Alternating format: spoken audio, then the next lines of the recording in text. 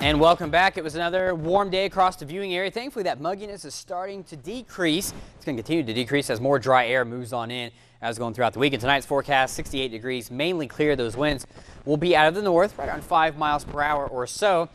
And for your Saturday, still very warm. Overall, we're going to remain warm. The problem is we're in what we call zonal flow right now, and I'll explain that in just a minute, but uh, that just generally means that, Uh, that the, the flow generally is going to keep us pretty neutral in terms of weather patterns. We're not expecting any large systems to come on through for the next several days.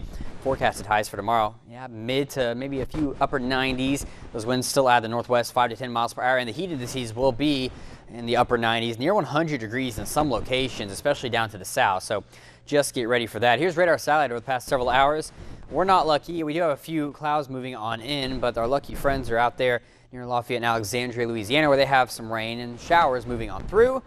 Yeah, that's not us. The closest we have is one little cell that's popped up in the southwestern corner of the state, and then it just dissipates. Yeah, that was our friend, but it went away. Yeah, yeah, we're all alone out here, just a few clouds, and that's about it. And that's going to be kind of the same pattern that we go through with the zonal flow. Now, notice what that is Zone flow is when you have the upper level winds that go very east to west. There's not a lot of up and down. You get those up and downs where, like, for instance, here's a low pressure system, so you have a trough, so the winds go around like this. Zonal flow doesn't let those kind of impede on it, so we're going to stay very consistent and warm throughout the next several days, so just get ready for that. And you can see the dry air, and granted, we're looking in the mid-levels here. The dry air back here will be filtering on in. That'll help reduce the mugginess, so that's the good news. Uh, but it's going to take it, again, several days before we get to that.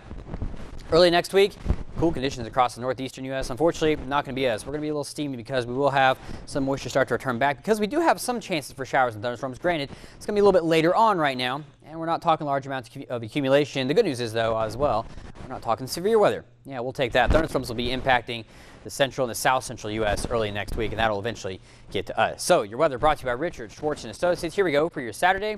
94 degrees, mostly sunny skies. 96 for your Sunday, still mostly sunny and warm overall. There's a very, very slight chance on Monday of some showers. We have a very slight chance every day, only about a 10%, and that's going to be with any little pop-up showers because we will be so warm.